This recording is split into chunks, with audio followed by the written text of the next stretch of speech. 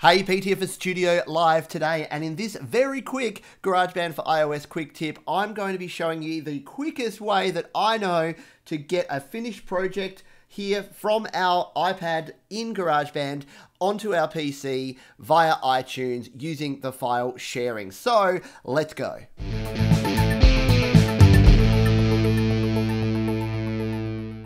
Okay, so you can see we've got our iPad up here now. We've just finished this song. This is a cover version of Creedence Clearwater Revival's Bad Moon Rising that I've just finished recording. So I'm going to go back to my songs, and here it is here on my iPad. I'm going to select, select, and tap on this song here to select it, and then hit the share button here in the bottom left corner. Tap on share.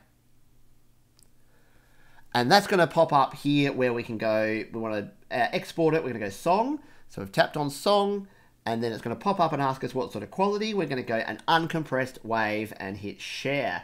It's going to go off and do its thing. Actually, first it's going to ask us where to share it to. Now, I could hit iTunes right here. What it's going to do there, though, is it'll put it in our GarageBand file transfer folder, which I don't recommend because it's a lot easier if we put it straight here in GarageBand folder, it means we can access it directly from iTunes. And I'll show you what I mean in a minute. So we're going to hit open in, and now it's going to go ahead and do its thing. It's going to export the song, which we can see it doing now.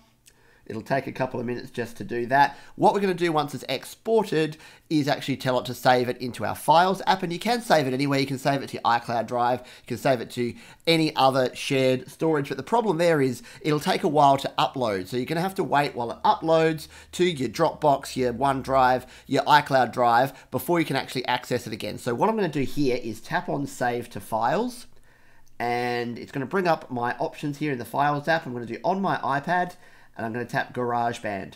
And I'm not going to go to GarageBand Files Transfer, File Transfer. I'm just going to leave it on GarageBand and hit Add. Uh, it's going to tell me I've already got one there because I've just done this before. Let's replace the WAV file we already have there. So that's done now. It's actually replaced it in here. And if we just hit done on that, we should be able to find it. No, it won't be able to find it in here because it's a WAV file, it's not a supported file. But if we went to our Files app, it would actually be in that location as a WAV file, right here in this GarageBand folder with all the rest of our projects. So what I'll do now is we'll get rid of the iPad, we'll send you over there. Let's bring in iTunes now.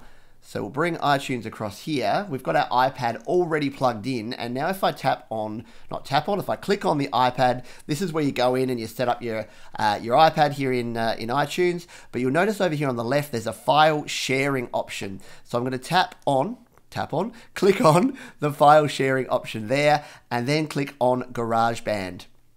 And what it's brought up here is all of these projects. So the default folder, this is what I was saying before, there's a GarageBand file transfer folder here. It's 305 meg. If I wanted to save that now, I need to do save to and save that entire folder. So just to get that one file out, I need to save the whole folder. But what I can do now is actually just click on this one WAV file, hit save to, tell it where I want to save it, which is in this folder where I've got my project, select folder, it says again, do to replace it? Uh, which I will replace it. It's copying it across and then it will be done. So if I jump in here and grab this folder and drag it across here to show you, here is this WAV file ready to go to add to my video to do what I want to do with it. So that is, in my opinion, the quickest and easiest way to get your projects across. And if you've already a step ahead of me, you'd realize that getting your projects over to here is another good way to back them up because what I can do now is with any of these that I have, all these horrible My Band ones, but I can